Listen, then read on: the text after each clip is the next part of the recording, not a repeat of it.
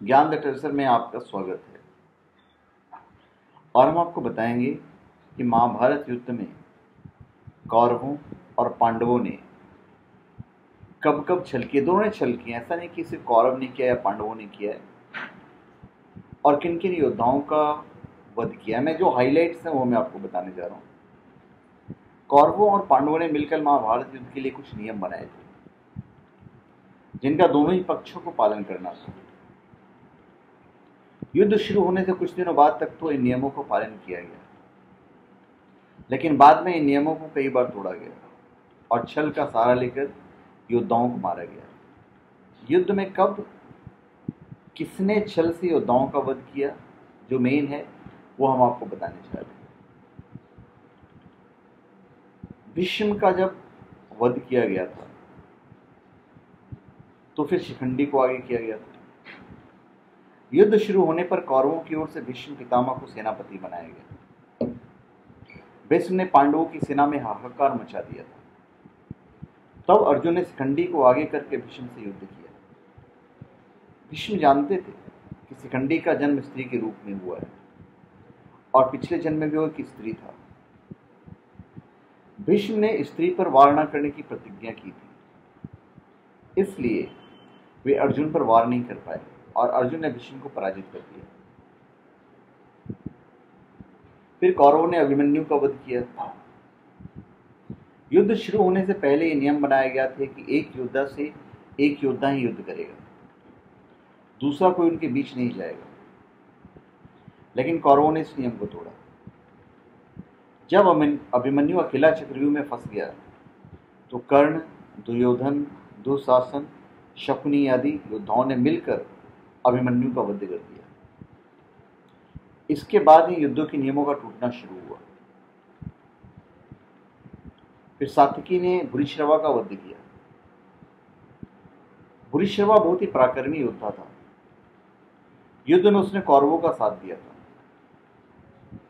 सात्यकी अर्जुन का शिष्य था। कुरुक्षेत्र में जब ये दोनों महावीर मल्ल युद्ध कर रहे थे तो भूरिश्रवा ने सात्यकी को उठाकर ज़मीन पर पटक दिया। और जब वो सात्यकी का वध करना चाहता था, उसी समय अर्जुन ने दूर से ही तीर चलाकर उसका हाथ काट दिया। अर्जुन के द्वारा इस प्रकार युद्ध के नियम तोड़ने पर भूरिश्रवा को बहुत क्रोध आया और उपवास लेकर वहीं बैठ गया। सातिकी ने इसी का फ़ायदा उठाते हुए भूरिश्रवा का वध कर दिया था। फिर द्रोणाचार्य का वध। भीष्म के बाद द्रोणाचार्य को कौरवों का सेनापति बनाया गया। द्रोणाचार्य पर विजय पाना भी जब पांडवों के लिए मुश्किल हो गया तब भीम ने अश्वत्थामा नाम की हाथी का वध कर दिया। और ऐसा कहने लगे कि मैंने अश्वत्थामा का वध कर दिया। द्रोणाचार्य के पुत्र का नाम भी अश्वत्थामा था। इससे वे संशय में पड़ गए। जब उसके बारे में उन्होंने युधिष्ठिर से पूछा तो उन्होंने भी इसे सत्य बताया। पुत्र मोह के कारण द्रोणाचार्य ने अपने हथियार रख दिए और ध्यान की स्थिति में बैठ गए इसी का फ़ायदा उठाते हुए दुष्टधुम्न ने उनका वध कर दिया। वो पांडवों के सेनापति का उस वक्त काम कर रहे थे। फिर अर्जुन ने कर्ण का वध किया।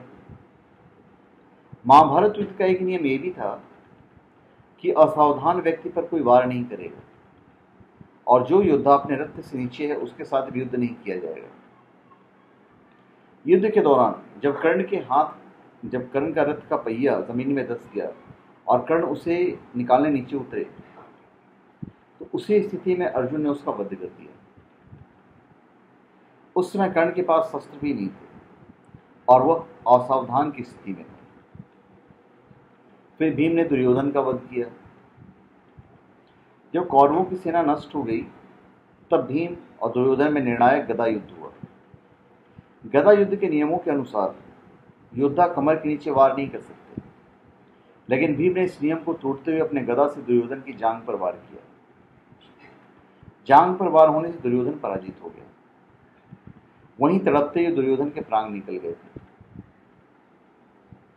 अश्वत्थामा ने भी युद्ध के नियम तोड़े थे। रात को कोई किसी पर वार नहीं करेगा। यह भी महाभारत के युद्ध का एक नियम है। इस नियम को अश्वत्थामा ने तोड़ा था। दुर्योधन के मरने के से पहले अश्वत्थामा को कौरवों का अंतिम सेनापति बनाया। उस समय अश्वत्थामा के अलावा कौरवों की ओर से केवल कृपाचार्य और कृतवर्मा ही जीवित बचे। अश्वत्थामा रात के अंधेरे में पांडवों के शिविर में घुस गया और दुष्ट दुम्न युधामन्यु के अलावा द्रौपदी के पाँचों पुत्रों का वध कर दिया। तो ये सब फ़ेमस छलगपट थे महाभारत के युद्ध के दौरान। तो धन्यवाद। आप हमारे चैनल पर सब्सक्राइब करें और अपने कमेंट दीजिए। धन्यवाद।